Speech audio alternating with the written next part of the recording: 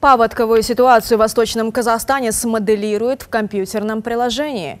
Местные ученые разрабатывают не имеющую аналогов в республике геоинформационную систему. В электронную программу внесут информацию о разливах рек, глубине промерзания почв, объемах снегонакопления в городах и районах области.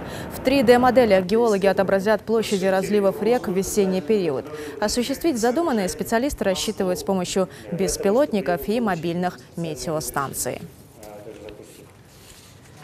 мы можем представлять какую-то информацию о затоплениях. Физическое моделирование подтоплений, то есть э, реально в виде анимаций мы сможем увидеть, как э, происходит э, затопление участков территории.